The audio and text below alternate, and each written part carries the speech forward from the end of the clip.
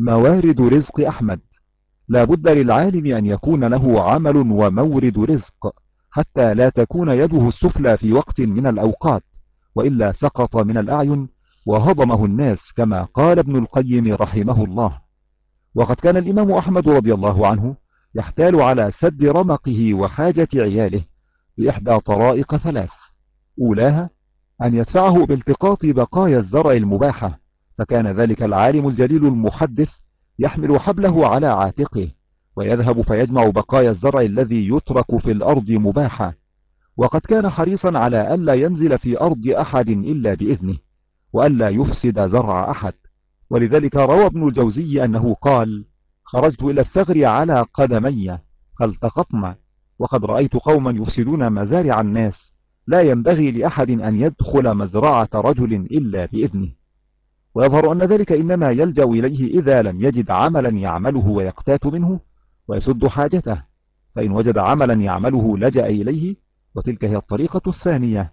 ولا يجد غضاضة في أن يعمل مهما يكن نوع العمل ما دام فيه نفع للناس وسد لحاجته. فكل عمل شريف في ذاته ما دامت النفس تعلو به ولا تكون يد صاحبه اليد السفلى. فلا صغار في عمل يحله الدين. ما دام يرفع الإنسان عن حسة المتناول من أفضال الناس والمتساقط من أموالهم.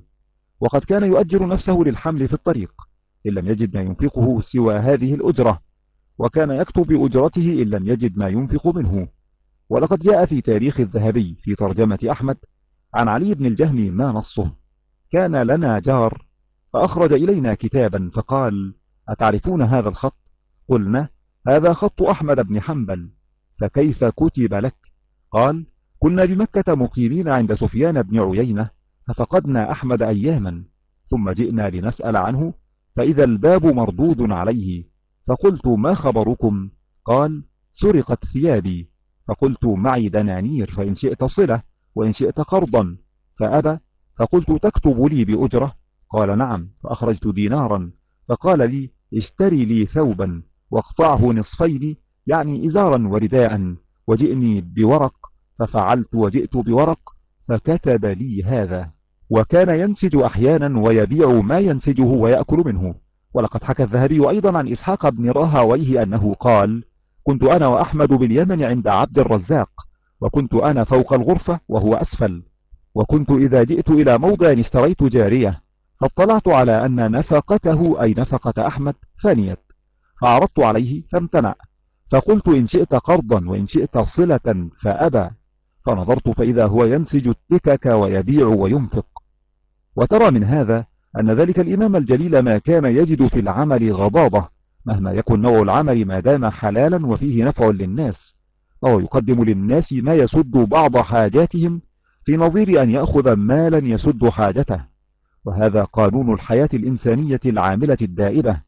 ذلك لأن أحمد كان رجلا صالحا لا يهمه نظر الناس بمقدار ما تهبه نزاهة نفسه وعدم نيلها المال إلا من حله فهو لا يرى في العمل خسة لأن الشرف الذاتي الصحيح إنما يستمد من نفس صاحبه وعلوها عن الدنايا ومنة الناس وإن الذين يجدون العار في صغار الأعمال هم ضعاف الناس الذين لم يهبهم الله شرفا ذاتيا في نفوسهم فيسدون ذلك النقص الإنساني بهذا التعالي المادي. وكل ميسر لما خلق له.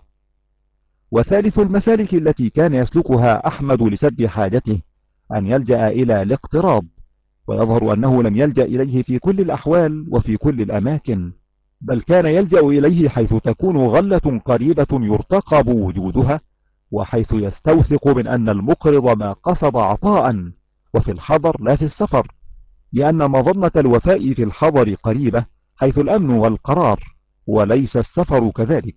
وفي بعض الأحوال كان يأخذ قرضا معتزما الوفاء في المسيرة والمقرض قد أعطى على نية ألا يأخذ فيختلفان ويصر أحمد على رأيه فيتم له ما يريد. كان قد استقرض مرة من بعض أهل التقى مئتي درهم أو ثلاثمائة فذهب إليه يردها فقال له يا أبا عبد الله ما دفعتها وأنا أنوي أن آخذها منك؟ فقال وأنا ما أخذتها إلا وأنا أنوي أن أردها عليك. هذه هي حال أحمد وموارد رزقه. آثر الكفاف مع الكدح وساغ بالعيش على أن يقبل منة العطاء. وقد كان مع ذلك حريصا كل الحرص على ألا يكون في المال الذي يصل إليه شبهة. فإن كان فيه شبهة رده. وآثر أن يغلب مع الحرمان جانب التحريم على جانب الإباحة.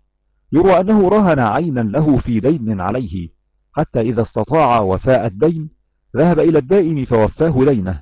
ولما أراد أن يرد إليه رهنه التبس بعين مشابهة له من مال المرتهن فدفع إليه العينين على أن يختار أيهما. ولكن أحمد بالغ في الاحتياط لدينه فتركهما وقد سدد ما عليه.